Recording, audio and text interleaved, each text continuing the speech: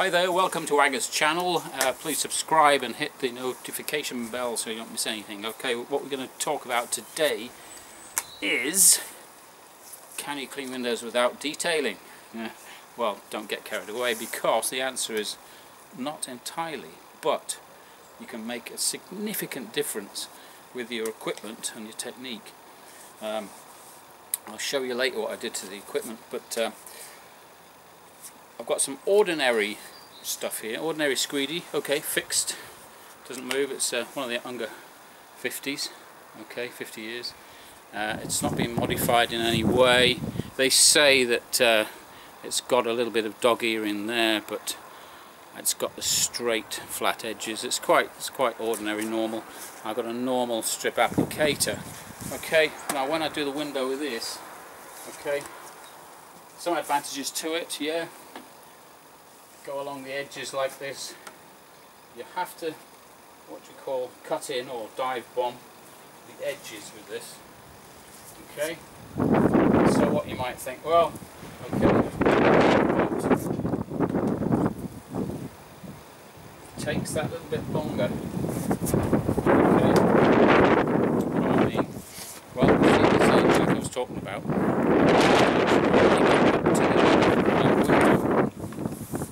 Show you this. What tends to happen,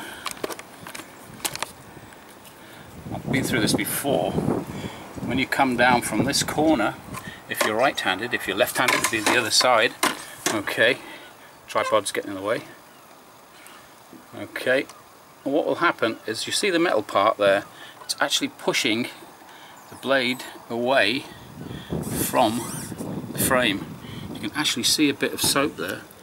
Maybe if you look closely you see? So you maybe you have to dive bomb. See you might think oh well I'm good at this now. So you dive bomb okay that's fine. But it does take longer because you have to dive bomb but then what else can you do? Well let me show you. You know I'm uh, into wagtail and all that sort of thing so we see where we are with the camera. Okay. Wagtail okay. It is modified quite a bit okay. Now initially a few years ago I devised this. You see the split there okay so that I could work with a pole and squeegee at the same time without having to dive bomb. See what do I mean? Well you see this angle here and the split. The split is a better form of dog earing. It doesn't let this rubber bend back here so much. Okay, so that it keeps it right in the corner of the frame, right in the edge. Okay, let's just wet this up a minute.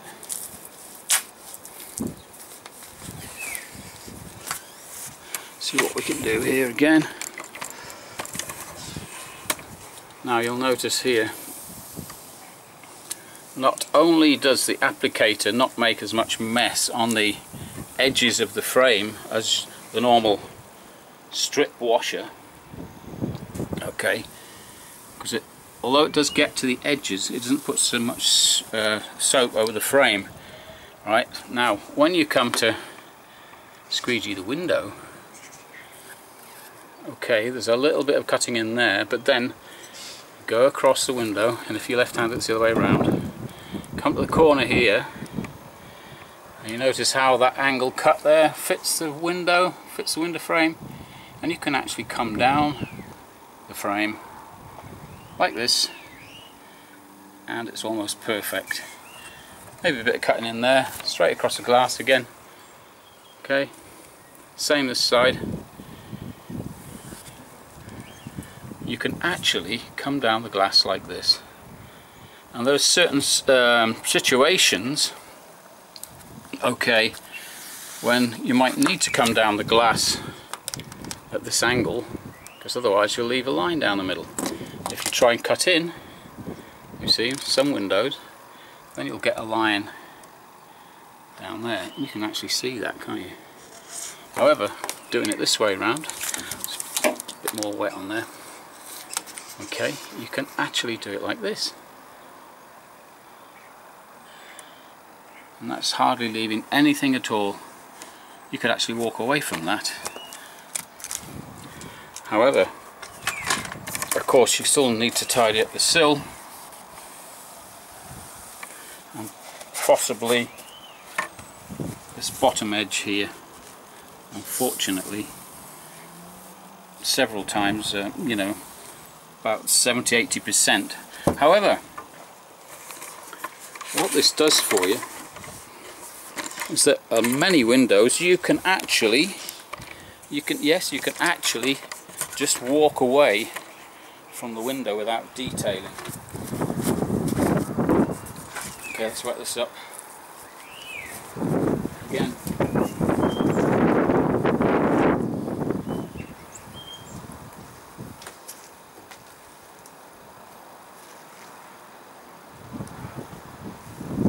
I see this like a game it's much more efficient as well. See how far I can get without having to detail at all. Very often I'll just do the bottom edge and then do the sill, walk away. Sometimes I'll tidy up the frames. I don't know every time. I don't get it fed, but I'll just wipe the frames across. Uh, just ignore the uh, lead here. It's just for demonstration. I would uh, water fed that and the bottom window, but this is just for a demo. Okay. And like I said, initially I devised this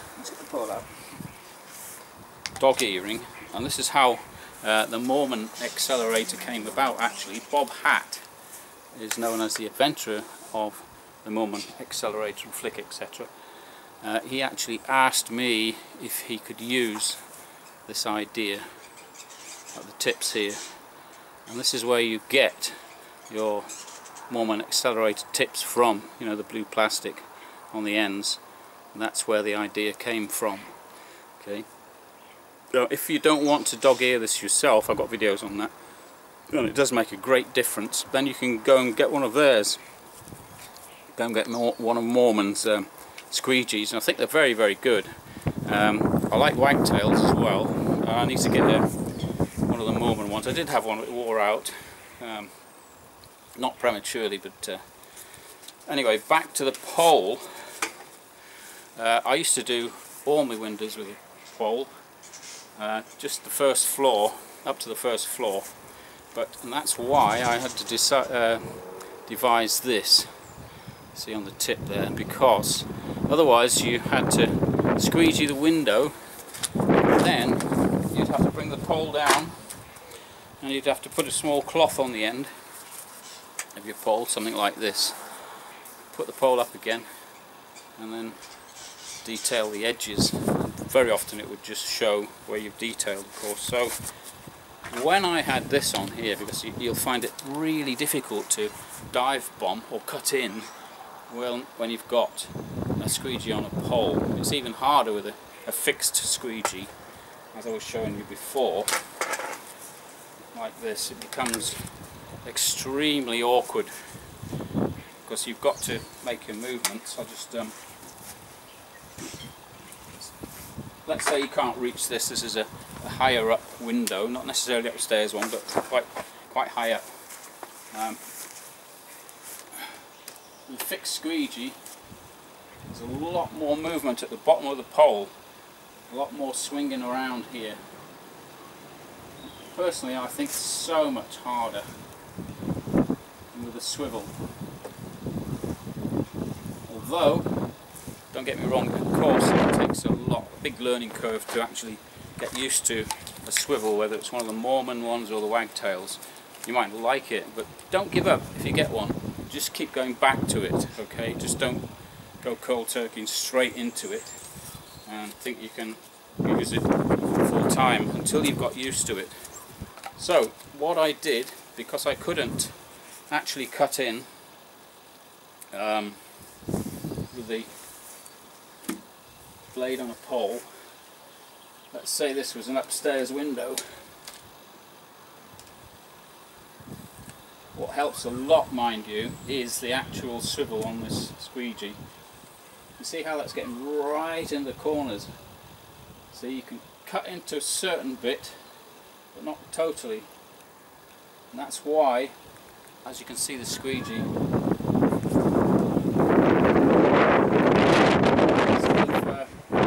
dive bombing, which would be very, very difficult. With a squeegee on the end of a pole. Instead I can just bring the pole down like this, and if I was doing straight pulls, you see, say this was a narrow window, and say the frame's here, then I could just point down as the centre so there's no line in the middle and you would still not have any detailing to do. See, let me just wet that up again and prove it to you.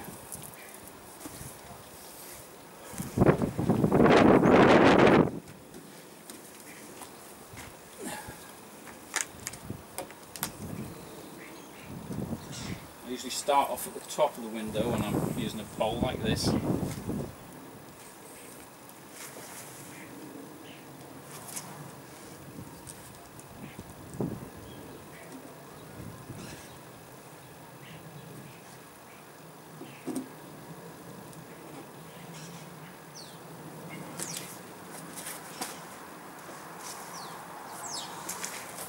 Okay, let's get the camera.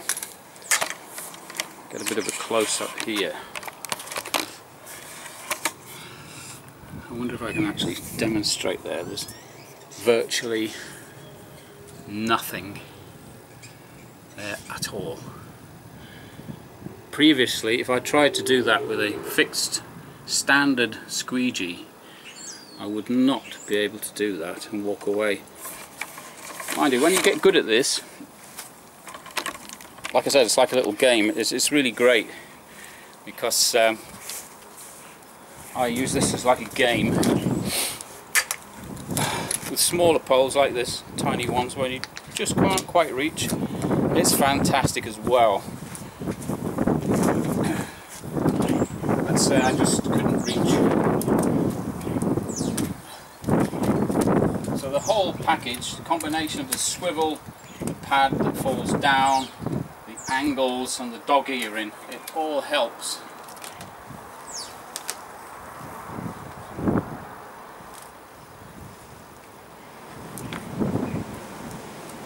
See the technique I'm using there? There's no dive bomb in there really at all. Okay.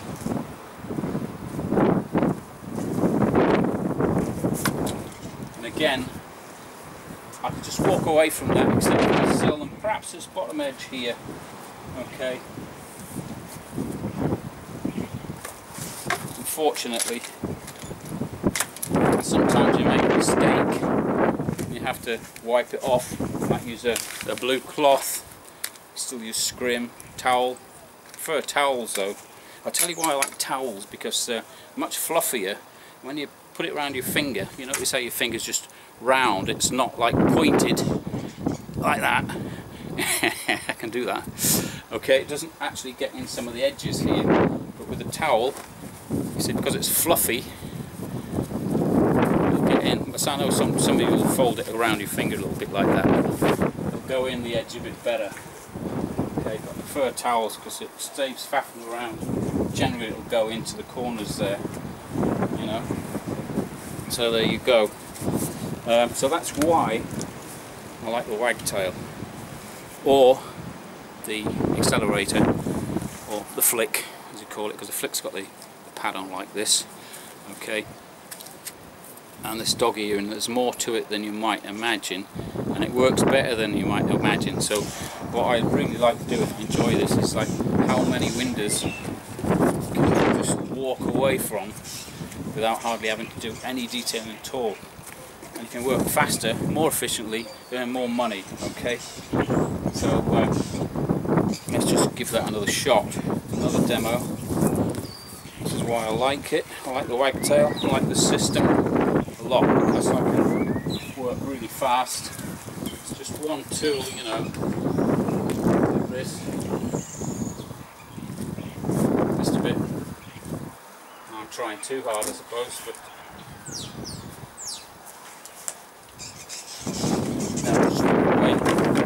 pretty confident with that.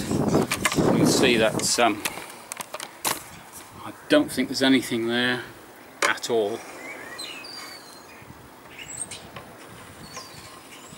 It's the whole window. A tiny bit in the corner there. But I'm not after perfection, but near enough. It's near enough, I can tell you that, and nobody would notice, you know. Just as it was, in the old days of the old squeegees, I can't believe what I used to get away with, you know. There's a bit there, just a little tiny bit, you see. But that's all part of the game. I did this really quickly, this window, so you can see how fast it can be done, you know. Uh, let's see if that's alright. Yeah, so there you go. So instead of this, the problem with this is, I didn't say, I don't remember, um, especially on brown frames, what will happen with this type of strip sleeve, the advantage is it holds a load of water, a lot more water, but it doesn't really matter when you've got a bottle of That's the method I use, you can just squirt it every time it needs to be wet anyway, or squirt it on the on the glass like that, you see. And that's why you can get away with a pad like this. It doesn't hold so much water, but then it's it's lighter and it doesn't put suds all around the frame so much as, as this type of strip washer will. Okay you guys, I'm not the best one cleaner in the world, some, of you guys are amazing, uh, like Bob Matt, but uh, there's just some of the things that I've noticed about what I do. I found out the wagtail, uh, this type of squeegee is far superior and you've only got one tool as well to deal with. I find it much easier because I don't have to keep putting strip washer back in and pulling the squeegee out and then pulling the cloth out. I can keep the silk cloth in my hand here very often and I don't have to detail so much. Maybe that bottom edge like I said, silk cloth and I can hold that in the other hand at the same time you see. So there you go. That's the technique. Can you get away without detail? Well, no, not entirely, but you can get really, really close, which is, uh, is brilliant. I, I, love this because uh, I, I, see it as a game. It keeps me busy, keeps me interested. See how many windows I can just walk away from. Um, oh, that's a good. but I can do that with a lot of windows these days, especially if I just put that little bit of effort in, take a little bit more time and rather than use this type of squeegee. Although, like I said, you can put the same techniques to work on this squeegee as well because originally that's how these come with just square ends okay but as I say uh, I banged on about this enough you know why they're angled now because when you come down the glass as you can tell it just seems to fit that much better. Okay, as you'll see here, if you're right-handed, there's no detailing required on that side at all. Okay, and these are pretty difficult uh, frames with these rubbers in. Uh, the frames will vary of course, but generally I can get away with this you're left-handed you can come down the glass on the other side like so. No detailing required. Love it to bits actually. Okay there we go. So